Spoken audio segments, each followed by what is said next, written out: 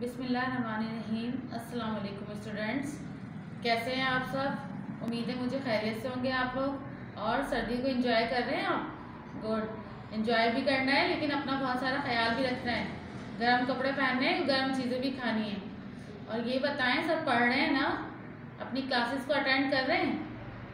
Good अच्छी बात है। तो आज साइंस में पढ़ाएँगे हम यूनिट नंबर फाइव तो तमाम स्टूडेंट्स अपनी बुक में यूनिट नंबर फाइव ओपन कर लीजिए। स्टूडेंट्स हाँ। आप लोगों ने सबने अपनी बुक में यूनिट नंबर फाइव ओपन कर लिया।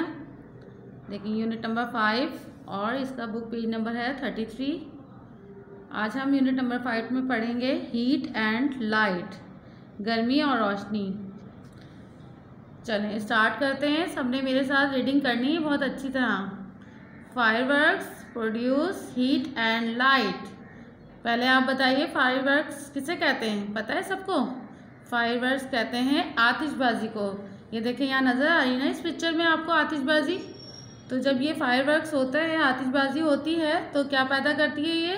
हीट और लाइट इससे गर्मी भी होती है और रोशनी भी होती है।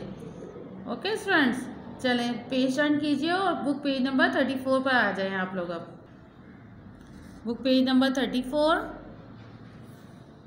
Heat is very important for us. The sun gives us heat. It also gives us light. Heat जो है वो हमारे लिए बहुत ज़रूरी है हीट तो सबको पता है ना क्या होती है हीट मीन गर्मी गर्मी हमारे लिए बहुत ज़रूरी होती है और सूरज हमें गर्मी देता है और गर्मी के साथ साथ वो हमें क्या देता है सूरज जब सूरज निकलता है और तेज़ भी होता है कभी कभी जब गर्मियाँ होती है तो कितना तेज़ सूरज निकला होता है तो वो हमें लाइट भी दे रहा होता है और हीट भी दे रहा होता है। तो हम सूरज से गर्मी और हीट दोनों हासिल करते हैं। A bulb gives out light and heat अच्छा देखें स्टूडेंट ये बल्ब है और बल्ब भी हमें गर्मी और रोशनी देता है। Fire also gives out light and heat fire ये फायर है, देखिए फायर तो सबको पता है ना क्या होती है? आग को कहते हैं हम फायर आग भी हमें रोशनी और गर्मी देती है. A candle gives out light and heat candle भी हमें हीट और लाइट देती है. अब पेज नंबर थर्टी फाइव पढ़ेंगे. Page number thirty five continue करते हैं हम अपना chapter we need heat to keep us warm in winter we need heat to keep us warm in winter हम अपने आप को सर्दियों में गर्म रखने के लिए गर्मी किसकी ज़रूरत होती है? हमें अपने आप को सर्दियों में गर्म रखने के लिए गर्मी की ज़रूरत होती है ना? हीट की ज़रूरत होती है। तो हम आग जलाते हैं, गर्म कपड़े भी पहनते हैं ना इसके लिए?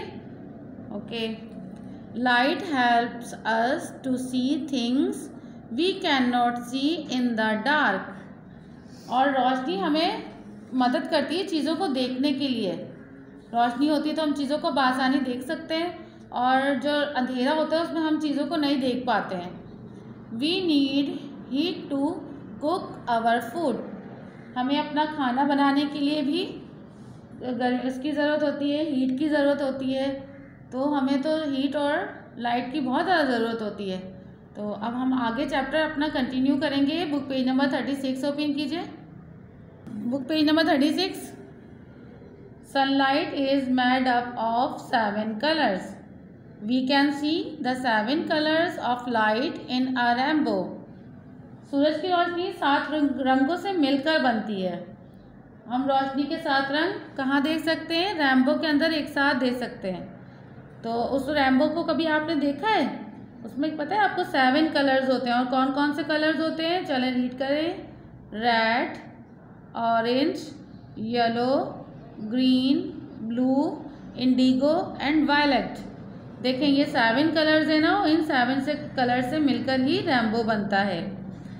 Light can pass through air water and glass light can pass through air water and glass light जो है वो इनसे पास हो सकती है, देखें इन चीज़ों से। एयर से भी पास हो जाती है लाइट, वाटर से भी और ग्लास से भी। Light can not pass through wood, cardboard and rubber. और लाइट जो है वो इन चीज़ों से पास नहीं होती। बहुत सारी ऐसी चीज़ें जिनसे पास नहीं भी होती है, लेकिन यहाँ हमारे पास एग्ज़ाम्पल में दो तीन चीज़ें हैं, जिसमें वुड है, लकड़ी है, कार्डबोर्ड है और रबर है। इन चीज़ों से लाइट पास नहीं होती। तो स्टूडेंट्स, ये आज हमारा चैप्टर यहाँ पर एंड हो रहा है। आपने अपने घर में इसकी बहुत अच्छी सी रीडिंग करनी है और उसको अंडरस्टैंड भी करना है अच्छी तरह से। क्योंकि आपको पता है ना एम होते हैं हमारे तो वो चैप्टर में से ही होते हैं। तो चैप्टर को तो बहुत अच्छी तरह से रीड करके उसको अंडरस्टैंड करेंगे आप। उसके बाद में इस बुक की, इसी चैप्टर की एक्सरसाइज करवाऊँगी। तो तमाम स्टूडेंट्स अपनी अपनी पेंसिल होल्ड कीजिए और book page number thirty seven पर आ जाएँ।